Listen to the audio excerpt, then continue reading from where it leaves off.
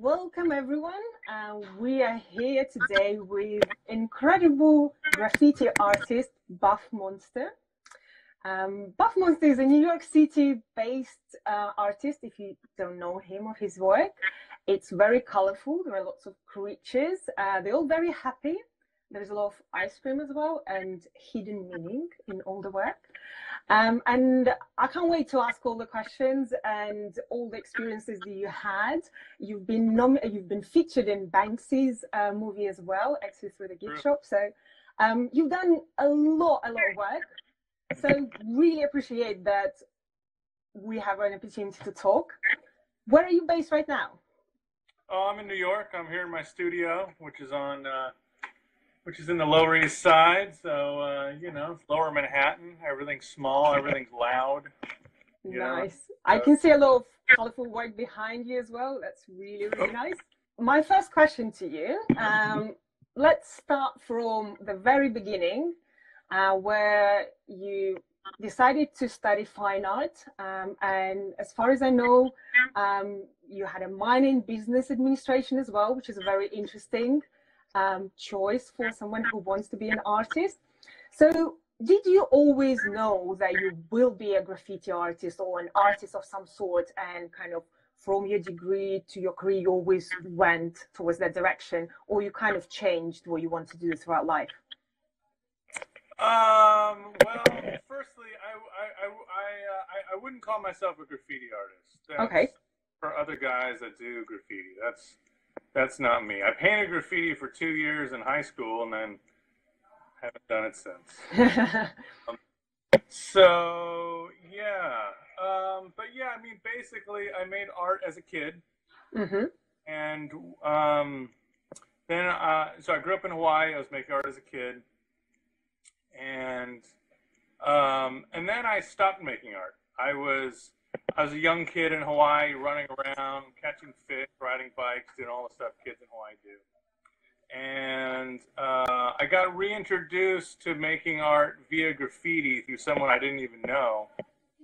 And um, that was the first time that art could be exciting. Because usually making art means you're by yourself, you're in a studio, you're at home, you're wherever you are, and it's safe um, but doing graffiti was the first time that art was an adventure. It was a team sport. You didn't know what was going to happen. Was it allowed where you lived? It was obviously against the law. Oh yeah, no, totally illegal. Yeah. Okay, fun. Did you have to go like at night or early morning? I remember when I tried to do graffiti in my early years, we had to go really, really early in the morning and then quickly run. Indeed. Yeah, so this was back in uh, 95. Okay. Long time ago. Uh, but anyway, so yeah, I, graffiti was a passion, and then uh, that that uh, it just faded away, you know. But but what remained uh, was the power and the fun of doing stuff in the streets. So I lived in LA. I put up lots of posters. See, I've heard there was like according to Wikipedia at least, there was this big thing when you printed out thousand posters and put them all over LA. How did this idea come about? Why did you think it would be a right thing to do? Well, I was inspired by what Shepard Fairey was doing with the Obey Giant campaign. Mm-hmm. There was uh, actually a guy that uh, predates Shepard named Robbie Conal, who was putting up posters in LA since forever ago and he inspired Shepard and all that sort of stuff. So he was teaching at the school that I was going to, and okay. so. Uh, and the thing about posters is that LA is a driving city, and so that means putting up posters actually makes a lot of sense. Uh, you want to put little things all over the place, uh, as opposed to, let's say, a few big things. Um, so, like New York is a walking city, so painting a big mural somewhere makes sense because people are going to walk by it painting a mural in LA is a different thing. If someone drives by it, they see it. If they're not going to drive by it, they're never going to I see. So you were very strategic about this move of putting these posters out in LA so people can see it. What did you want to achieve with it? Were you looking for commercial work? Did you try to make a name for yourself? What did you think was the end goal? Well, that's the thing. I think, um, you know, street art has really morphed into this weird self promotion thing. You know, there's people eager to take photos and pay to take tours, walking around cities. And I'm not saying you shouldn't do that. It's really different than it was 20 years ago. I mean, really putting up posters for me was a way to take some ownership over uh, the city that I lived in. You know, a way to craft it and a make it look a way I thought it should look. You know, it was it wasn't like, oh, let me do this so oh people know who I am, and it wasn't anything like that. It was just this is fun. I think the city would look better if these posters were around. Okay, and what were what was the outcome of this? What happened after you put them out? First of all, did it something happen straight away? Or you had to wait for something to happen? What happened after? Well, people started to notice. That's okay. What, you know, um, you know, I think anytime you put up something, I think that's really the strength of Shepard's Obey Giant campaign is that when you know when you put something up, people aren't exactly sure what it is, but if you see it a lot of times, well, that becomes something you know. So yeah, so uh, yeah, so I started getting invited to art shows and all sorts of stuff, and yeah, there was some client work that came in, but but that wasn't the goal, and and to me that seemed like a very weird side effect even because you know the posters in the street and the paintings I was making at the time were kind of related, but I don't know. It's it's it was unexpected. Okay, but when you moved to LA, I think it's so exciting that you kind of made this big move and you had this plan that you'll put out these posters and something might happen. What did you want to do? What did you see as a career? Because being an artist probably is one of the most difficult paths you can take. There is no really um, money side of things, is very, very vague. And what was your plan? Well, so I went to university, as you call it. We call it mm-hmm. college. But uh, I went to school for art and business. Mm-hmm. And so the plan was that having a good business sense was going to be really important no matter what I did. But mm-hmm. switching from business to art, that's when it's like, okay, art and business. That makes sense. So what I did was I got a job, I got an internship at a uh, big magazine company. Mm-hmm. And I was and I was one of the first interns they had. I worked for the art director of a magazine called Hot Rod Magazine. It was about hot rods. So I did that as an intern. Then I got a job when I graduated, and so I, all of a sudden I had this regular job working in a cubicle, a car, a car payment, rent. I had all this stuff. You know, it's like you graduate college, you just get all this stuff. Um, it was rewarding for what it was, but I was also going out at night putting up posters and all all the fun stuff. Yeah. You know? And so yeah, I mean, I think some people are like, "Oh, it's so smart you went to school for business," and I was like, I don't think it's smart. I think it's like super obvious. you know, I think that you know what I always tell people is that everything around us is business. I mean, every single thing. The shoes you're wearing, the lipstick you're wearing, that banner behind you, the phone that you're using. I mean, anything that you're using is from a business. Like literally every single thing comes from a business. And so business is around us in ways that you probably don't even consider. Um, but I think I think if you look at artists, I think if you look at the most successful artists, they're also the best businessmen. You know, Andy Warhol has a quote about art is business, best art is the best business. But I think I think it's really important to understand business you know. So yeah, that's how it goes. You know, you got to have both. You got to have some amount of talent, and you got to have some amount of understanding of business. You know, only one or the other. Well, that's not going to work out very. So when did you realize that your cubicle job, so you're working every day, you're making enough money to leave, and you can do your night thing when you put art on the streets and you really enjoy doing that night part. So when did you realize enough of this internship or job or whatever I'm doing. I want to be a full time artist and I'm going to make it. Right. So I never knew how that was going to happen. How do I go from having this job with this paycheck, blah, blah, blah? How do I go from that to just finding my own way and paying for everything that's got to be paid for. So what happened was I, I got introduced to a guy who wanted to make T-shirts for me, and I said, "Cool, I want to go on tour." And he said, "I can put you on tour." did was got Rockstar Video Games to give us a bunch of money, and we went on tour. So I quit my job. Well, actually, I told them I was going to go on tour, um, and they said, "Should I come back?" And they said no. I said, "Okay, fine." so, um, Rockstar Video Games give us the money. I was the headlining artist, two supporting artists. We had a tour driver, a tour photographer, and a tour manager. Now, this is in 2006. We didn't have media of any sort, not even Twitter. And we, we booked this tour. We did 23 cities in five and a half.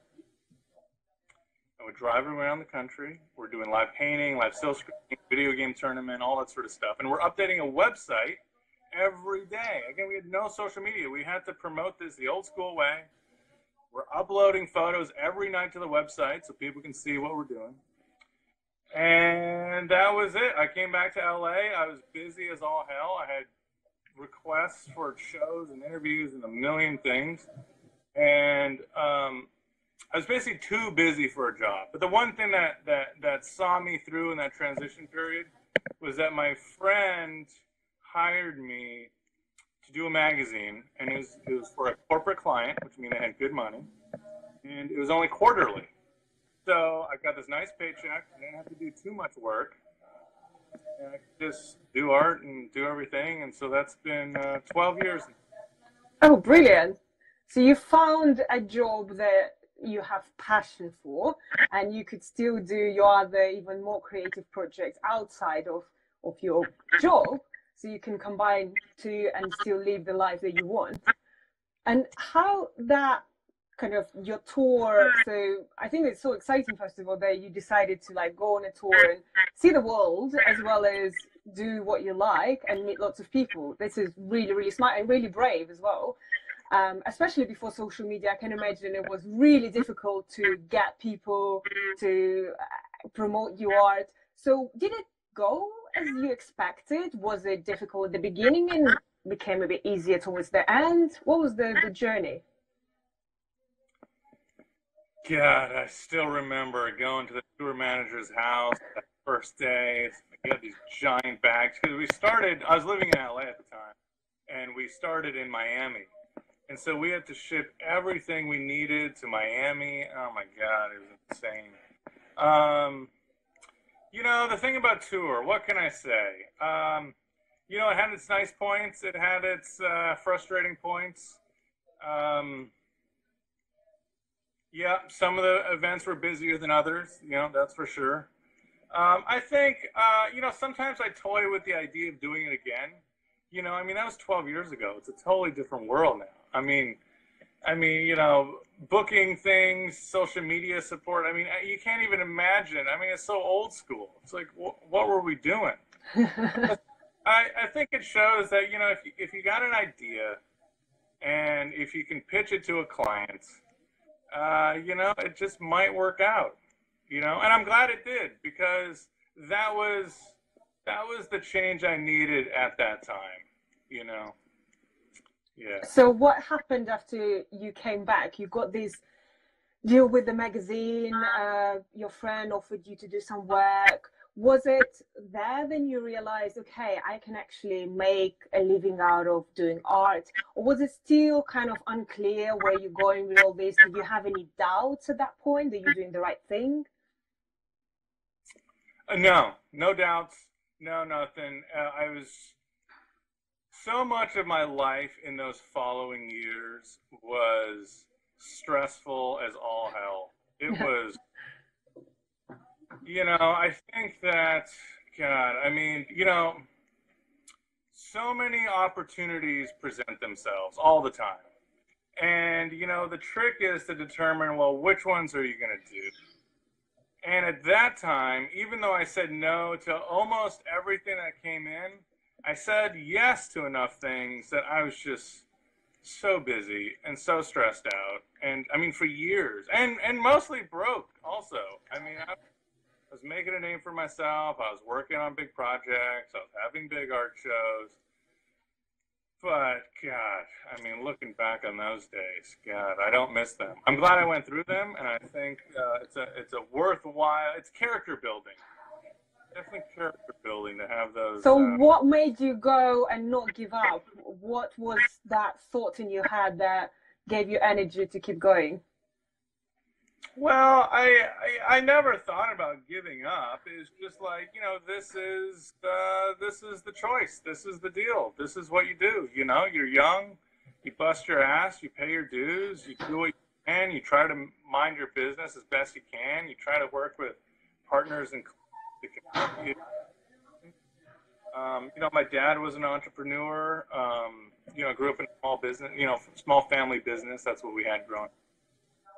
And you know, you just uh, yeah, failure is not an option. Just, just do it. So you're always positive. I suppose positivity is something that you can see through your work as well. You always have an optimistic view of life. So I suppose that during that time you you still knew you will make something out of it even when it was hard. Did you feel like that moment happened? Was there like a certain point where you're like, okay, now is my big breakthrough? Yeah, you know, I think I think you you know uh, maybe even today, maybe maybe this idea of like how this next project could be. I think back in those days, I thought, I guess I thought that more often. I guess I thought, God, this one could really do it, and it never happened. And then the next one, oh, this could be the one, and then it wasn't. Um, I think ultimately what happened is I just got tired of LA, all the bullshit, and I was over it. And so I moved to New York. That was in 2012. That was six years ago. Six years ago? Yeah. So I've been here for six years. And the thing about New York uh, is that it is amazing. And it affords opportunities that I had no idea about. It has changed uh, my life. It's changed my career. Changed everything. How, uh, how did it change? What changed? Well, you know, the funny thing is, is that I didn't change. It's still me, still doing what I do. And that was the most surprising bit. It wasn't, uh, it was just me. It's like, uh, once I lived in New York, all these new things happened. You know, uh, clients, what I didn't realize was that clients want to hire a New York based artist. Well, that when I lived in LA, no one told me that. uh, you know, gallery want to work with a New York based artist. Cool, great. So it's almost like a brand being a New York based artist. You know, basically, as soon as I moved to New York, like literally, like within weeks, I was flying to Tokyo, flying to Paris, flying to wherever. Like it's just like as soon as I'm here, people are like, "Hey, do you want to do this thing? Hey, do you want to do this thing? What about this thing?" I was like, "Sure." Let's Did do you it. do anything? So when you moved to LA, you had this strategic move of putting the posters out to build your name. Did you do anything similar, or did you have any plan for moving to New York? No, I had no plans of moving to New York, and I didn't even know. I wasn't uh, necessarily planning on moving to New York either. I just I was tired of LA. I just needed something else, and so I came to New York for an art show, a small art show at my friend's gallery. And I was like, you know what? Maybe I'll just move to New York. And so I came back a few weeks later, hung out for a couple weeks. I said, this is cool. And then I just went back to LA and I was like, all right, I need to find a place to live. So flew back out to New York, found an apartment, signed a lease, went back to LA, had a month to pack up all my stuff, loaded up a truck, and drove out here. So. And what was, was the it. first thing you did when you moved to New York? Did you meet with all the people that you knew? Did you email everyone that you thought might be interested? What was the first thing on your agenda? Uh, basically, like literally the night that I arrived in New York, like literally w- within two hours of arriving into New York, uh, I called an artist named Lamour Supreme. You can look him up on Instagram, Lamour Supreme. And I went to meet up with him at a bar. And, you know, he just moved into a studio like that week across from another friend, Sucklord. You can look him up on Instagram too. So, yeah, these guys, I just started hanging out. And Lamour and I started traveling the world together, painting stuff together, doing all sorts of stuff together. Uh, and how do you feel? That's very. I think it's so exciting that the first thing that you did is like found people who do the same thing or similar thing to you, who are passionate about the same things, and started hanging out with them. And you saw, I suppose, some progress or something out of it. While if I compare it to, let's say, design world, especially in some communities, there is such a competition that you almost see everyone who's doing the same type of work as a potential competitor. So you won't tell them all the secrets, or you try to kind of avoid going to places there will be too many designers. Is art community the same, or is it more collaborative and you kind of always try to stay together? You know, I think that You know, I think that it's it is a little different. Uh, yes, there's competition. You know, there uh, you know can be rivalries and blah blah blah, all that sort of stuff. You know, there's only a certain number of galleries, let's say, or say. Um, but on the other hand, I think I think art really di- is different from design in the way that you know if you like someone's paintings, well, then buy one and that doesn't mean you can't buy this guy's painting either. You know, but if you're a designer, it's like, well, one guy's gonna get this job. guy, so okay. Yeah. So right, and, that makes yeah, no, that totally makes sense. And I think you collaborate as well with a lot of artists throughout your career. You had um, a show with Dalek and you had kind of a collaborative experience so how is it to collaborate with someone who does similar type of work to yours but has a completely different style? Um, did you find it challenging? Did you learn something new? You know, uh, doing the show with Dalek, that was uh, in March of this year.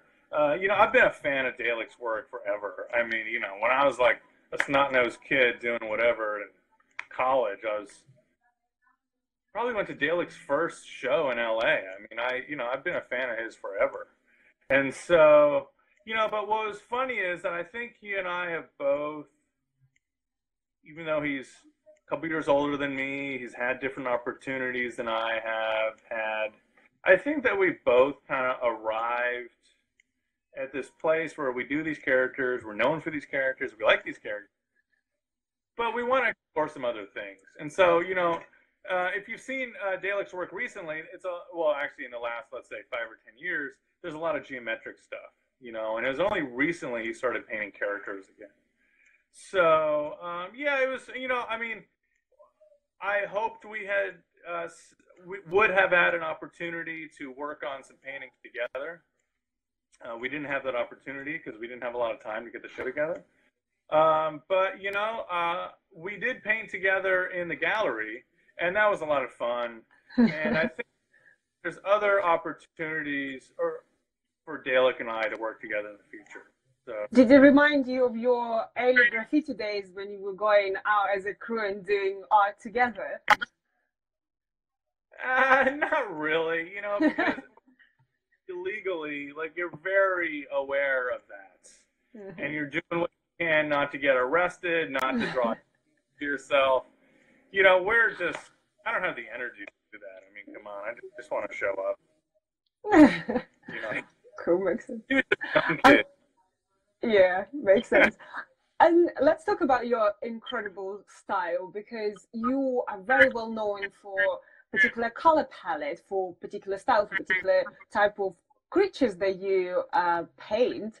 How did you develop that style when it like kind of clicked that this is what you want to do for the rest of your life? Was it during your university days or is it later? Well let's see. Part of me giving up graffiti uh, all those years ago was to be aware and i guess responsible of the work and how the work exists in the world I think you have to think about that. You have to think about the viewer, especially if you're doing stuff in the public. You really like if you're painting murals, for example. You know, there's a lot of mural festivals around the world these days, And I think, okay, that's great. You go somewhere, you paint a wall, and you leave. But you know what? The community there has to live with that wall. and so you have to be aware and responsible for what you're putting in the world. Now, that's not a, it's not an issue of self censorship or anything like that. It's just being responsible about making a contribution. Like, I want to make a contribution. That's an important thing. That might not be important to other people, but I like to make a contribution, a positive contribution. So, um, but to go back to your question, um, yeah, so I was, I was making these paintings with these characters uh, from about 2001 until about 2012. So that was like 11 solid years working with these characters. In 2012, the character evolved into this like humanoid ice cream character, and that was that was kind of what was needed at the time. Uh, I was interested in making paintings based on the Renaissance. You know, the Renaissance, obviously, um, there's a lot of figurative work. I mean, most Renaissance paintings are people in some sort of situation. And so the character I was doing at the time with short legs and short arms I, I couldn't use that character in the type of way that I needed. And so the character basically evolved uh, with longer arms and legs and uh, more of a personality. And, that was in 2012. And um, yeah, I've been working with the same characters ever since, you know you know. And I, I, I, quite like that there is a lot of meaning in your work as well. So you wrote this Melting Manifesto and kind of the the whole of idea behind the ice cream and the, the thinking. Can you tell a bit more about that? What is that something that you always had from the beginning in your work, or it kind of was post rationalization of what you were doing? I think that it's important to act intentionally. And I think that I think, you know, I don't know. I the manifesto. I like the manifesto. I think people should read the manifesto. It came out two years ago. It explains why ice cream, explains the whole metaphor of ice cream. Uh, it has the studio guidelines. It explains a lot of stuff. It's kind of like a little kind of secret book. Like, here it is. want to you want to know everything? um, and the, the book uh, is intentionally black and white because I wanted to um, wanted to kind of I guess limit who was going to get it in a way. It's like, hey, look, if you want all the pretty pictures, that's cool. Buy that book. But if you want to get to the kind of the nitty gritty, this is the book for you. And um, yeah, I mean, uh, to your point, I think that there is a lot of thought that goes into the characters and what I do, and I think that there's a lot of people around the world that do cute characters, and that's great. I guess maybe I'm one of them, but I think I think if you're going to have any lasting contribution, there's got to be something behind those characters. You know, it can't just be like, oh, here's my thing. You're like, okay, do you think people get the meaning behind because it's really deep meaning that you're trying to put there and i really enjoy kind of uh, reading about that and understanding that the ice cream is not really the ice cream and there is, there is the thinking do you think all people understand it or it's only you have to read the manifesto to actually get what you're trying to, to say? I think that it's probably lost in most people. Uh, but that's okay.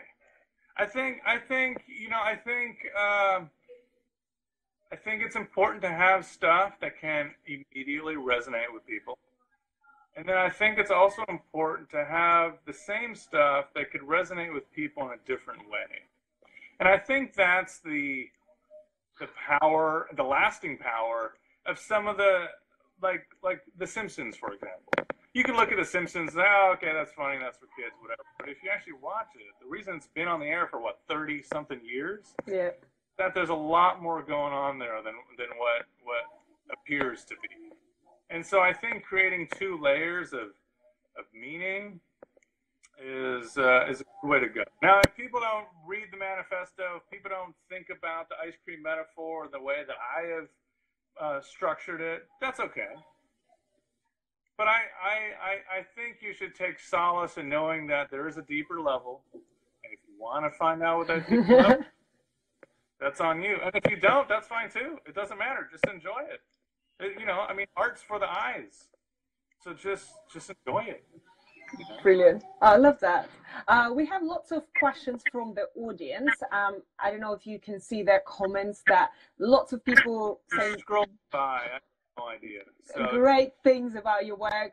There are so many of your fans who joined, and I love your work as well. So it's good to see there is such a big community that just um, fans and um, say lots of great things.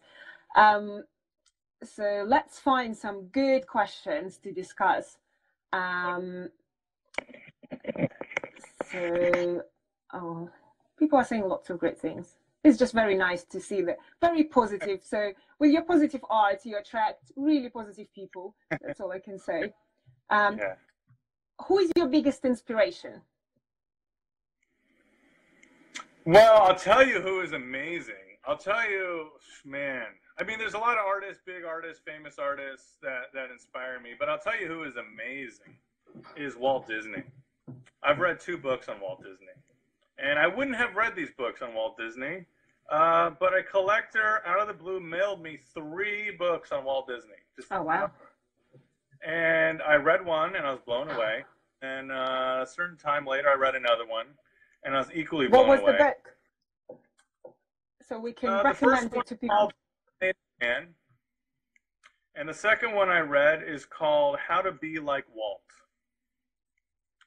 Um, and God, you know, jeez. I mean, Walt Disney. I mean, Snow White came out 80 years ago. I mean, it's it's insane. I mean, it changed movie history 80 years ago. Um, but what the big takeaway from the book was that how much Walt struggled. As famous as he was, as much money as he had, as many employees as he had, he struggled almost his entire life. It's amazing. Do you feel like you are going through the similar challenges that he did that made you so connected to him as a person? Uh, well, he had a lot different challenges than I did. uh, but I can take solace in knowing that, uh, you know, everyone has to struggle at, at some time you know, and, and for a long time sometimes. You know? And talking about the inspiring people and people who uh, who are amazing at what they do. Have you met Banksy? Yeah, yeah. You did. Great. Yeah. I met him a lot. Tell us who is he? Everyone is asking. is he a good person? What's that? Is he a good person? Uh, he seems to be right? I mean, uh, yeah, I think he seems to be, you know, for sure. Um, yeah, it's been when, a long time. When did you meet him? What was the occasion? Uh, I went to like his first show in LA, and he wasn't Banksy. He wasn't this mm. guy. He was just a guy. He was Banksy. Oh, okay, he has a show. Okay, I'll go. Fine. um, and you know, I heard heard these stories about you know, he doesn't go to his own openings or he does or whatever. You know, there's all this like stuff. Even then, there's like all this stuff. You're like, okay, okay. So I went, I met him. You know, we had a nice talk, and um, you know, what can I say? you know, I don't know. He's around. I know people that have made stuff for him. You know, I, you know, whatever. I mean he's around. If if if you are involved with graffiti in Bristol and you're more than 40 years old, you probably met him or you know somebody that knows him or I mean, you know, he is around. Okay, great. Um, some more questions from people who are watching us. Any advice for new artists? Well, I think that uh, you know the um, there's no shortcuts. You know that's for sure. It all it's just hard work you know it's just it's just uh, you know there's that old saying about um, uh, what is it i forget the exact word but um, like expertise or something takes 10,000 hours You know, it's just it's just it's just a lot of work. You just have to put in the work. I think I think anytime I hear a question like that, what I hear is, "What's the shortcut?" no shortcut. You just have to do the work. You know, that's it. You know, I I love watching comedy. I love watching these interviews with Jerry Seinfeld. He's amazing. Um, you know, but he's like he's like he wants to understand why is something funny. You know, it's not like oh you did a good show. Da, da, da. It's like no no no. Let's break this down. Why is this funny? And the thing about stand-up comedy, I don't aspire to do it, but I do go and watch it. The thing about stand-up comedy is, it's either funny or it isn't.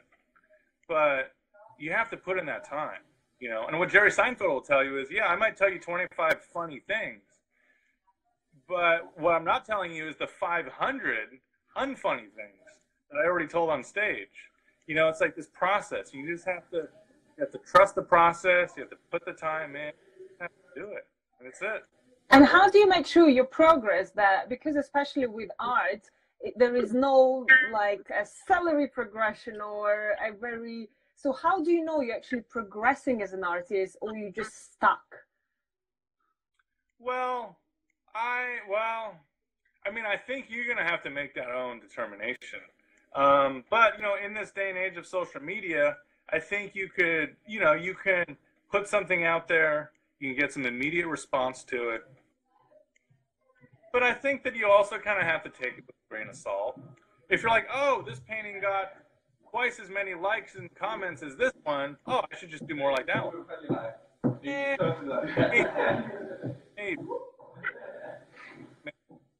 Okay. Um, more question about your current life. Uh, what's one challenge that you face as a professional artist now? God, uh, you know, um,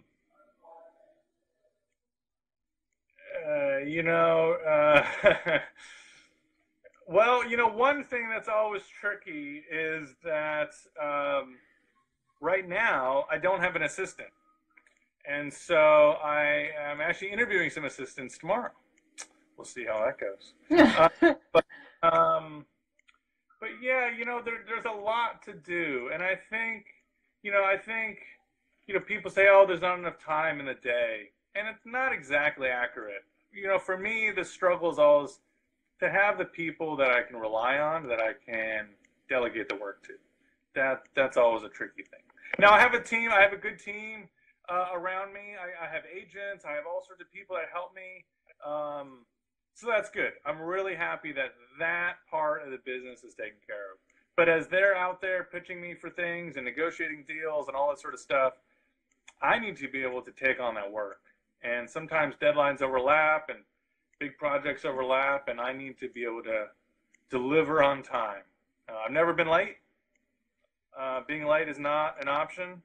Um, so it's important that I have a team in the studio that can help me deliver everything I need to deliver. Makes sense. I like your very structured approach to what you're doing. Do you actually have advice to artists who don't understand the power of business or were never exposed to the business side of things? What can they do tomorrow to make themselves more successful as artists from the business point of view? Well, um, I think you can read some books. I mean, I read a lot of books. Um, that's one of the nice benefits of living in New York and riding the subway is that like every day um, for like 40 minutes. Mm-hmm. And God, I've read so many books. I read mostly business books, like uh, like marketing books, uh, art books, art history books. Um, God, there. I'm reading a book right now called Creativity Inc. It's about uh, written by the uh, man, Pixar. Uh, what? Pixar. Yeah, Pixar, exactly. So I'd wanted to read this book for a long time. Uh, it's not my favorite book. I'm getting through it. I like some things in it. Not my favorite book. Oh no, I really liked it. I thought it's really well written, and I actually would recommend people who are in a creative field to read it. But I don't know now if I should recommend it. I think I think there's things in it that I think are, are worth reading and exploring and learning. I agree. And not my favorite book though. Um, but I What books- your favorite book? Oh God. Um, well, okay, okay. It's called Positioning. Positioning. Uh, okay. out in the seventies, hmm and uh, it's amazing. It's about marketing, hmm and it talks about brands, like real world brands. Like here's Coke fighting Pepsi. Here's man, that is such an amazing book. Seriously, positioning, positioning. You know, you're like, oh yeah, positioning. Ah, I've heard that word. I have an idea what that word is. Uh uh-uh. uh. Uh-uh. You don't know what positioning is. Positioning. Oh, it's so important. Uh, on that note, we have a question. How did you identify the market for your work? And do you have any tips for illustrators looking to do the same? Uh, that is a good question. I'm going to move over here so I can plug my phone in. Hold on a second. Here. Um, well, that okay. Well, you should definitely read positioning. Uh, that is, um, you know, I think that uh, you know because what that book points out is you need to be able to present yourself in a certain way, and the more, the clearer you can be about that, better off you'll be. So, if you're an illustrator, well, what kind of illustrator are you? Do you do cute stuff? Do you do, um, I don't know, medical illustrations? I mean, what is the thing? You kind of have to plant your flag and say, this is what I do. The jack of all trades, eh, it's not really a thing. I read a whole book about that too. It's called Focus, about how if you're a business like these multinational companies that do everything from air conditioners to shoes to trucks to like anything. Seems like a good idea, not a good idea. Um, so you kind of got to plant your plant your flag and say, "This is what I do." Now, you could say, "Well, I don't follow my own advice," and I'd say that you're right because I have a lot of, and it, it is one thing that I struggle with because on one hand, I'm I'm a street artist. I paint murals. I do all that. On another hand, I, I make uh, paintings that I show in galleries. On the other hand, I make lots of merchandise, lots of collectibles. I love doing that. On the other hand, I do lots of client work. So I think I would benefit from doing less things, but haven't been able to quite figure out what I would cut out. If I was going to cut one of those things out, what would I cut out? I don't really want to cut anything out. So I got things in the works. I've been having some meetings. Hopefully, there'll be something uh, soon. Brilliant. Um, last couple of questions. Lots of people join us from different countries, and everyone is asking, when are you next in Spain? When are you going to Russia? When? What are the next countries that you're going to, and when are you going to be in all those countries? Um, jeez. Uh, I I have no idea. Actually, I was just in Spain for like ten days. I was just in Amsterdam for a week. Um, where else am I going? I don't know. Um, I don't know. Someone wants me to come to China. I've never been there before. Let's see if that works out. Um, I don't know. I mean, anyone that follows me or joins the mail list on buffmonster.com, I mean, you can do all that stuff. You'll, you'll get plenty of warning. Um, I'm actually probably going to have an event here in New York if anyone's coming to New York. I mean, the nice thing about living in New York, everyone comes. That's brilliant. So definitely, guys, follow Buff Monster, and if you're not following him yet on all the social networks, and then when the next event or show or anything is out, I'm sure you all will be notified, and then you can probably even see this great artist in person. Last, last, very last question. For anyone who is at this kind of middle stage of um, exploring themselves as an artist, trying to figure out their own style, kind of not sure even where to go, like going into sculpture, going into like art, so feeling very creative but not mm. seeing the path. What would you recommend doing? I think you just got to keep going. You just got to keep making stuff. You just that that's kind of the number one thing. Andy Warhol has a quote about that. You know, he said that you know you make stuff, and while people are deciding whether it's good or not, just make more stuff. And so I think if you're committed to being a creative person, then if you're inspired and you can and you you know and you you're compelled to make work uh, then you can you just got to keep making work, you know, because eventually you'll figure out like, oh, I don't want to do this, or hey, I want to do this, or this is too much work, or hey, this is nice, this is easy, and people like it, or you know, I don't know, whatever it is, or hey, people like it, but eh, I don't like it, so you know what, I, I don't care about that. I'm going to go do this. So I think that you know, you just you just got to figure it out. I mean, I think I always look at it as like one of those choose your own adventure puzzles. You know, it's like all these lines you can fill in the little blanks. You know, like you know, it's like all the verb or not. Sorry, not a verb, like a noun, like something a noun did this and da da. You know, like all sorts of stuff. Um, so I look at an art career kind of that way, where no single choice really makes a difference. But over the course of 5, 10, 20, 50 years, those little choices add up. And I'm not saying that's good or bad. I'm just saying that it's accumulation of all these little choices. Projects you will do, projects you won't do. You know, that, that's how it goes. This is such a fantastic note to, to finish our conversation. And I think it's really good advice for everyone, not necessarily even artists, for anyone who's doing anything, just do more, experiment, and at the end, it will all make sense. Um, thank you so so much Buff it was such a pleasure talking to you and I got definitely really inspired. Guys who watched our interview uh, make sure you check out Buff's page uh, and go and buy Melting Manifesto really great read and other colorful books with more inspiration. Uh, thanks a lot uh, and follow Future London Academy for more interviews